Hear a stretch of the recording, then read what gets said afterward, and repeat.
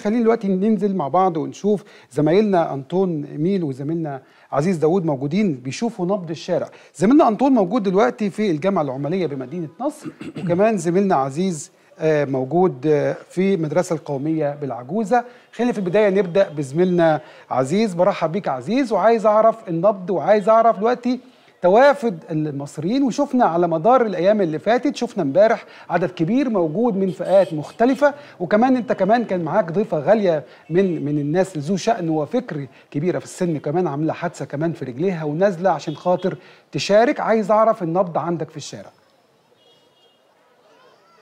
زميلي مايكل منصور برحب بيك وبجدد ترحيبي بكل زمايلي خلف الكاميرات وبجدد ترحيبي بأعزائنا مشاهدين ومتابعين قناة مسات في كل مكان من محافظة الجيزة بخاطب حضرتك وبخاطب كل السادة المشاهدين بالتحديد من منطقة العجوزة من أمام لجنة القومية بالعجوزة. حضرتك في هنا كتير من فئات الشعب المصري ملتفة حول وحدة واحدة وهي وهدف واحد وهو اداء مهامهم الوطنية في المشاركة في الانتخابية السياسية. بنتابع مع حضراتكم أداء العملية الانتخابية على مدار الثلاث أيام التي تتم فيها العملية. في كتير من الشعب المصري مشترك في العملية الانتخابية. بنشوف بالمرة ديت في الانتخابات عدد كبير جدا من فئات الشباب اللي بتشارك عندها وعي سياسي عندها وعي بأهمية دورها والمشاركة. حتى الشباب هنا بيقولوا أنا بشارك في في الانتخابات. اذا أنا موجود اذا أنا أقدر أطالب بحقوقي فيما بعد. لكن لو ما شاركتش فأنا ماليش موجود.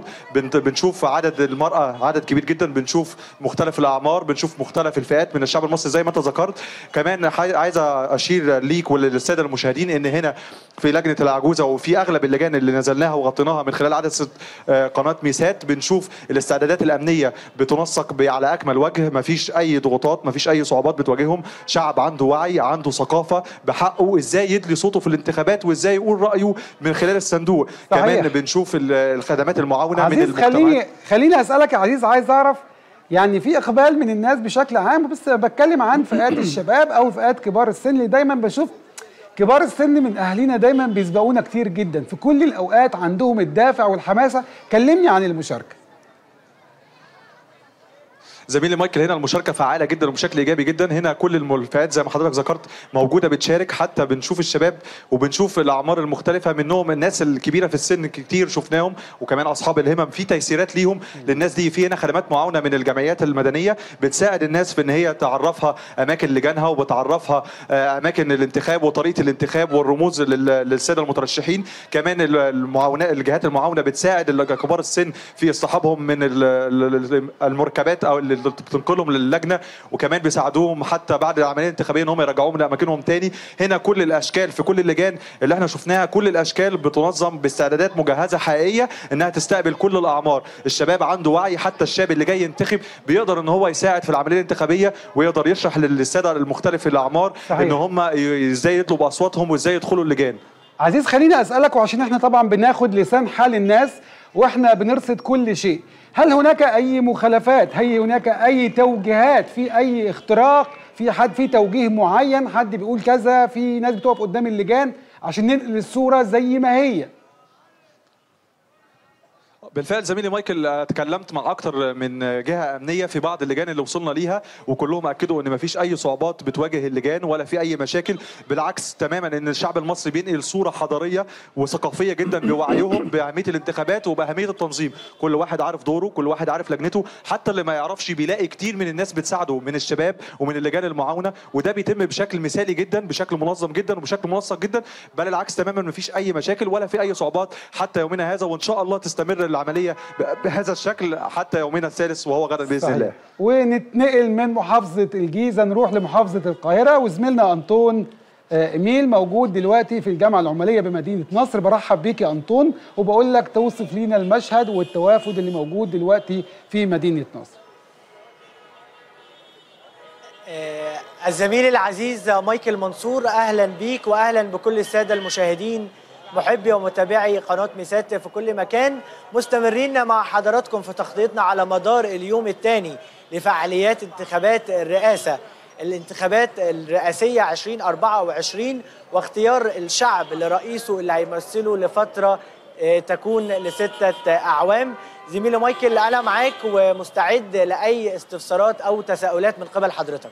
طيب أنطون قول لي بس المشاركات إحنا زي ما زي ما كنا بنتكلم مع عزيز من شوية وبسأله عن المشاركات والفئات العمرية اللي موجودة وهل الأعداد بتزيد؟ إحنا عارفين دلوقتي خلاص يعني يمكن تقريبا وقت صغير ويبتدي الناس كلها تخرج من أشغالها عشان خاطر كله كمان اللي عنده شغل بيخلصه ويبتدي يروح للجان بتكلم عن التوافد دلوقتي والفئات العمرية اللي موجودة أكتر شوية للتوافد.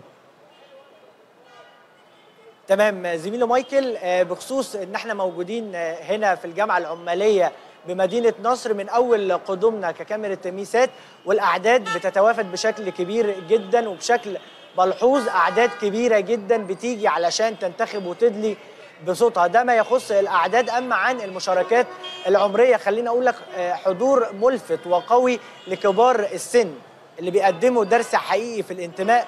والوطنية. وكمان من خلال لقاءاتنا اللي اجريناها على شاشة قناة ميسات اتكلمنا مع بعض الناس والدوافع اللي بتخليها تنزل وكله كان بيأكد إن ده دورهم الوطني الحقيقي والفعال وإن هم ليهم حق أصيل في وطنهم الحبيب مصر إن هم يشاركوا بيدلوا ويدلوا بصوتهم في الاستحقاق الدستوري اللي بيكفلوا ليهم الدستور إن صوت كل مصري أمانة يقدر يقدمه للوطن في الوقت اللي الوطن يكون محتاج لوقوف كل المصريين بجواره وإن دايما اللي بيراهن على الشعب المصري بيكون كسبان. طيب أنطون خليك معايا وبسأل عزيز مرة تانية وبتكلم عن تعاون تعاون رؤساء اللجان والموجودين القائمين على الانتخابات في فكرة التعاون وتقديم المساعدات لذو الهمم. هل فعلا في تقديم مساعدات بشكل بيبقى فيه صورة بديهة بالنسبة للشخص اللي قاعد على كرسي أو الشخص صعب الحركة اللي يقدر يتحرك؟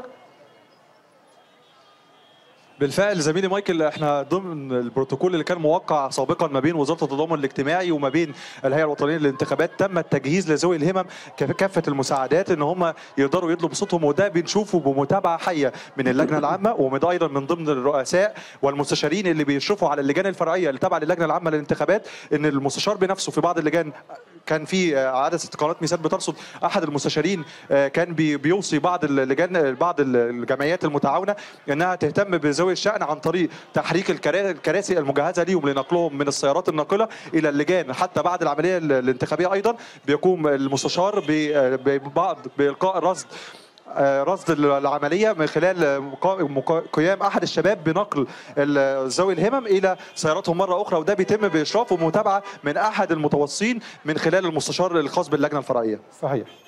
أنطون برجع لك مرة تانية وبسألك أنطون على مدار يوم ونص في أي منظر مؤثر أنت شفته على مدار اليوم ونص؟ وإحنا لسه مكملين كمان على مدار اليوم التاني. شفت أي حاجة غريبة؟ يعني إحنا شفنا من شوية مثلا حد كبير في السن طبعا عامل حادثة في رجليه ورايح عشان خاطر يدي بصوته بصراحة أنا صحيح. بقعد أفكر لما يكون حد كبير في السن ومش قادر يتحرك إيه الدافع وكل هذا الحب اللي بيقدمه للوطن؟ صحيح زميلي مايكل لو تسمح لي في البداية أشير لنقطة من خلال تواجدنا في الجامعة العمالية بمدينة نصر تعاون كبير من قبل رؤساء اللجان مع المواطنين اللي هم ممكن ما يكونوش عارفين أو ليس لديهم المعرفة الكافية آه، لكيفية الإدلاء بصوتهم بطريقة صحيحة. هم بيساعدوهم وبيوفروا لهم يعني كل الاحتياجات اللي يخليهم يدلوا بصوتهم بكل أريحية آه، وبكل آه، شفافية. آه، ده ما يخص تعاون رؤساء اللجان مع السادة المواطنين.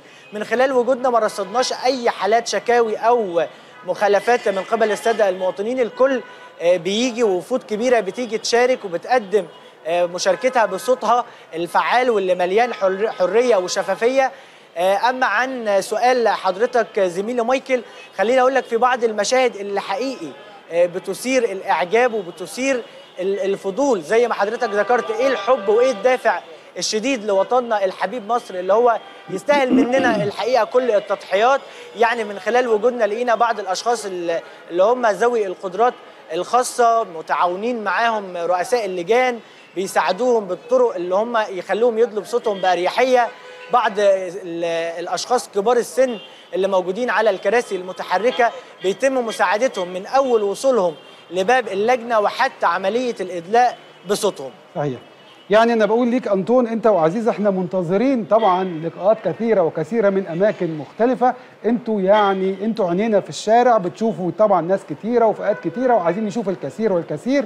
ولكن طبعا سؤالي ليك أنطون أنت وعزيز وأنا شايف إن إيديكوا أنتوا الاثنين ماسكة المايكات ومش باين إذا كنت أنتوا ادليتوا بالصوت أو لأ مش عارف بس هيتم طبعا تفتيش مفاجئ عشان أعرف انتخبتوا ولا لسه. زميلي مايكل يعني هو ده كان سؤال إحنا مش مستعدين ليه لكن بالتأكيد هندلب صوتنا في أقرب وقت بالتأكيد لأن ده زي ما إحنا يعني بنحاول إن إحنا دايما نوصل للناس لازم نكون إحنا بنعمل الحاجة اللي بنقول عليها فبالتأكيد ده دورنا الأساسي تجاه الوطن. وأنت يا عزيز كمان عايز أسمع رأيك. زميلي مايكل أنا بالفعل لسه ما ادلتش بصوتي الانتخابي ولكن أنا فعلا هنزل إن شاء الله إذا كان لينا عمر لأن ده حقي الدستوري اللي. بيكفله ليا القانون وإن شاء الله ده واجب وطني عليا وده حقي عشان أنا لما أشارك النهارده في الانتخابات وأختار رئيسي لما أجي أطلب مطالب قادمة إن شاء الله أكون بطلب من الشخص اللي أنا اخترت منه ولكن إن كان عمر إن شاء الله هشارك في آخر يوم في العملية الانتخابية بإذن الله. بشكركم جدا طبعا وده واجب طبعا يعني كلنا لازم نأديه للوطن.